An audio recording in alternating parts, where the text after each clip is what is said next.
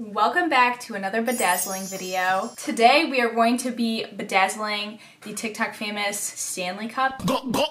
This video is very different. Usually I've only ever done TikTok shorts, TikTok shorts, YouTube shorts or TikToks or sometimes Instagram reels, but I've been getting a lot of comments recently about my bedazzling series and how you guys want longer videos. I'm a little skeptical that people are gonna actually wanna watch this. I feel like everybody's attention spans are just very short nowadays, mine included, so I, I don't know. This is an experimental video. If it doesn't go well, we'll just never talk about it again. But you guys did ask for a longer type video, so this is it. If I act like I don't know what I'm doing, it's because I usually never film these, so I honestly don't know what I'm doing. For some reason, this cup owns my For You page.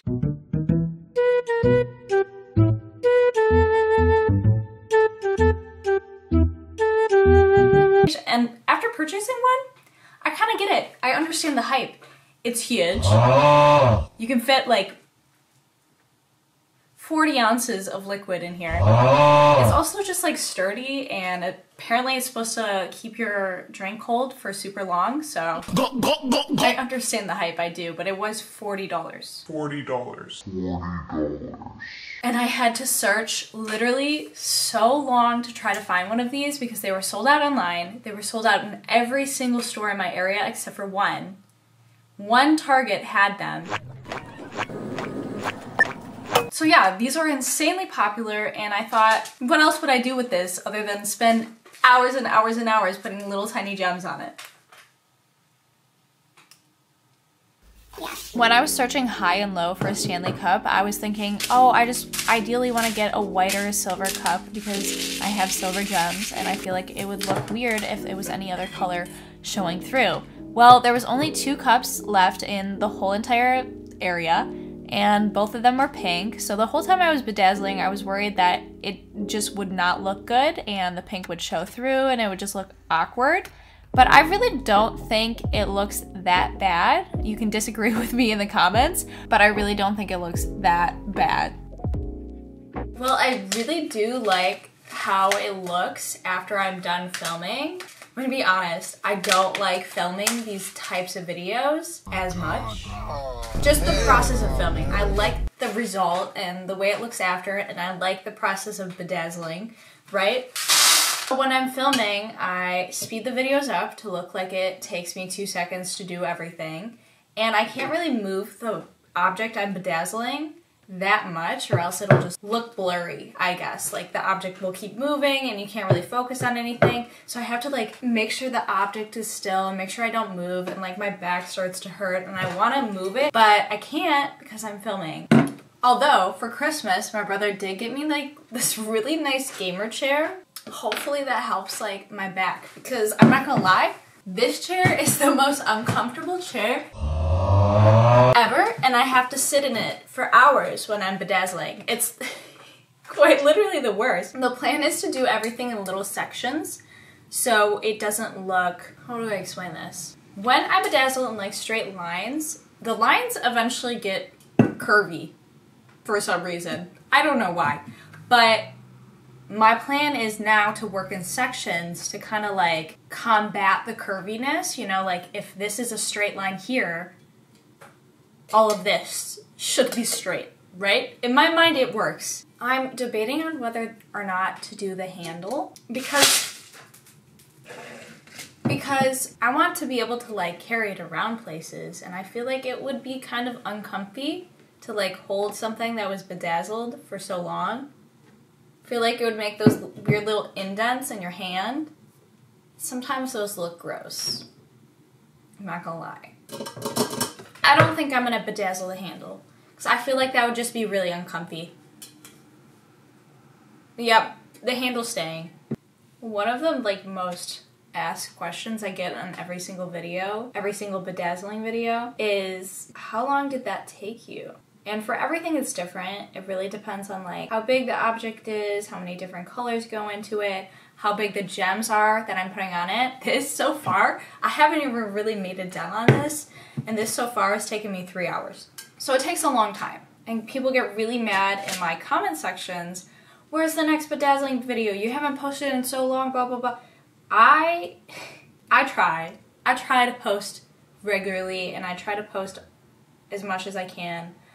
But it's just kind of hard to like black out the time to do this for so long. Um, another question that I get a lot is where do I get the stuff I use to bedazzle? I get everything on Amazon. It's just easier to order it and have it show up to my door. To be honest, I can't really find different colored gems, like different sizes, different colored gems at a physical store. I've looked at Michael's, Hobby Lobby, Joann Fabrics, and they do not have what I need. They have gems, but it's not what I need. It's not the size I need, it's not the colors I need, it's not like sometimes they have sticky stuff on the back and I prefer not to work with that. So I just find it easier buying everything on Amazon. I actually have everything linked on my Amazon storefront if you want to know like the specific items I use. Like for glue, I use Gemtac glue.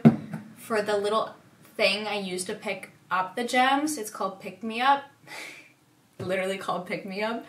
And then for the gems, I forget what brand they are to be honest, but if you just look up gems on Amazon, you should be able to find them. But if you want the specific gems I use, they are linked on my Amazon storefront, which I can link in the comments down below. Also, just let me know in the comments if you like this type of video, the style of like a long video. And if you do, I might make more. But if I do make another video, I kind of need topics to talk about while I'm bedazzling. So if you have any questions about bedazzling or myself in general, let me know in the comments and I'll try to answer them in the next video if there is a next video. I have a hunch people want to watch like a minute video of me bedazzling. They don't want all the details, they just want to see it. They want quick results. I feel like that's just the way things are now, but I could be wrong. And like, I always assume people are not interested in my life because, to be honest, I don't have that exciting of a life. And so, the one day I was looking up, I was like Googling myself, and I came across this weird website that had like my birthday and like my statistics. It was like my height, my weight. First of all, the weight was wrong. I never share my weight on the internet. But there's a whole section on like dating. And it was like, does Mikaela Luv have a boyfriend? We don't know. She's so secretive in her life and she's such a private person. We know no details about her dating life. And up to that point, I never thought of myself as like secretive and like not sharing about my life. But when I think about it, I feel like I don't really share much of my life on social media just because I don't think it's that interesting. I need a tripod that like goes over the top. I wonder if they make those. They have to make those.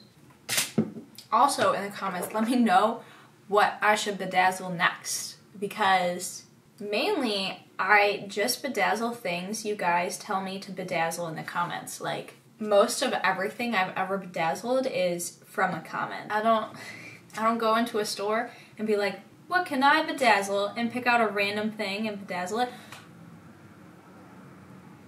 That would be a good video idea. I think I'm about to run out of camera space, like memory card space. It says so my camera did die, and by die, I mean it ran out of memory card space, so I popped a new memory card in it and finished this up over the course of many, many hours. I think for the most part, the working in the small sections really did help keep everything like aligned for the most part. Some things do kind of look a little strange, I'm not gonna lie, so just don't look too closely on the final reveal and we'll be good. I just finished this at like 2 a.m. last night, maybe 3 a.m. I don't know, I was up late bedazzling. And I put the tag that I, you can see where I ripped it off, but I put the tag back on to make it look new and I think it kind of looks cool with the tag on. I'm gonna rip it off in like two seconds anyways. I bedazzled pretty much everything other than the top part, the handle, and the logo. I've been really debating and trying to figure out if I should bedazzle this logo, but it looks kind of okay right now, right?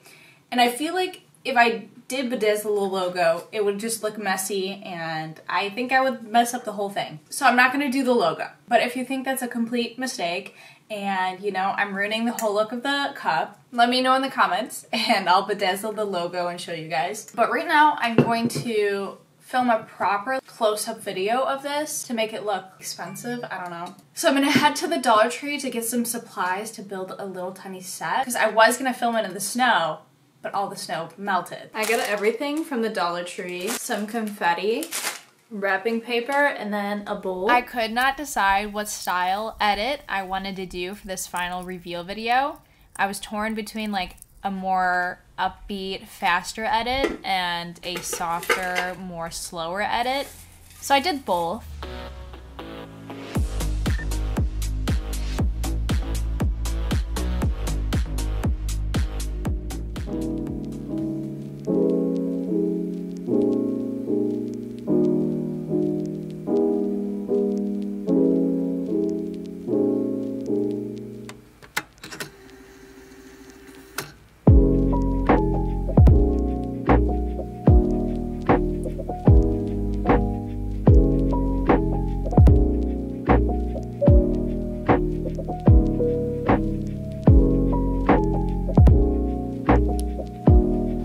Hope you liked the video. If you have any suggestions on what I should bedazzle next, leave them down in the comments below.